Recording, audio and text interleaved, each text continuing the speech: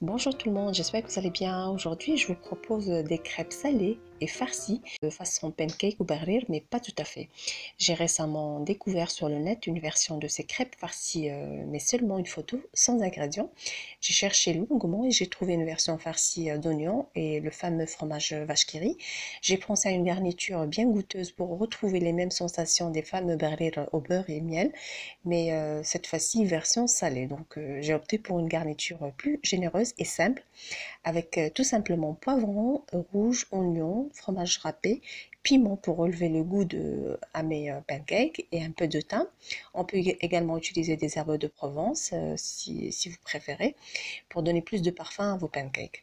Donc le résultat était stupéfiant. Ces pancakes euh, accompagnent parfaitement votre soupe préférée ou euh, bien une belle salade euh, comme j'ai préparé pour mon plat de soir à base de saumon fumé, salade de roquette, concombre, le tout arrosé de vinaigre balsamique, sel, un filet d'huile d'olive, saupoudré de quelques graines de sésame. Voilà donc je vous laisse découvrir la préparation.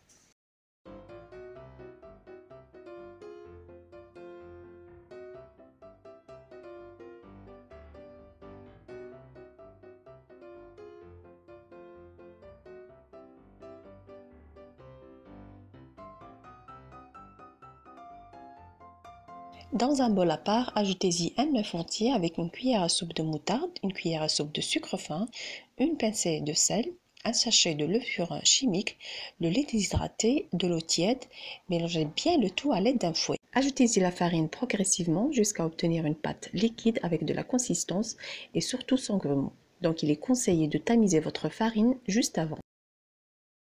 Là, j'ai opté pour une garniture toute simple, mais très goûteuse. Ici, vous avez un demi-oignon coupé finement, 80 g de fromage râpé. Vous pouvez également utiliser le fromage de votre choix, Kerry, la vache Kerry, une grande cuillère de thym pour parfumer. Vous pouvez également utiliser les herbes de Provence ou, euh, ou l'origan. J'ai aussi utilisé un piment rouge pour euh, relever le goût à mes pancakes. J'ai également ajouté un demi-poivron grillé, épluché, lavé, coupé finement avec la garniture.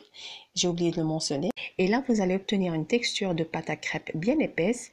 Laissez-la reposer entre 15 à 30 minutes à couvert. Positionnez le moule à pancake sur votre crêpière ou poêle anti-adhésive, sinon huilez-la légèrement. Versez une louche de pâte, tapotez un petit peu et laissez cuire quelques secondes jusqu'à voir apparaître des petites bulles. Retournez le pancake et faites cuire l'autre face en essuyant toujours à l'aide d'un essuie-tout et badigeonnez à chaque fois de beurre fondu.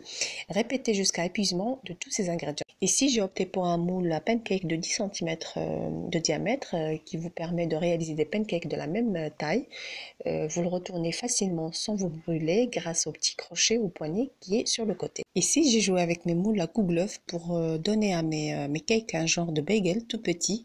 Visuellement, c'est très très beau. On pourra même les déguster en petites bouchées, mais je vous conseille quand même le premier mode de cuisson. C'est beaucoup plus facile et pratique pour vous.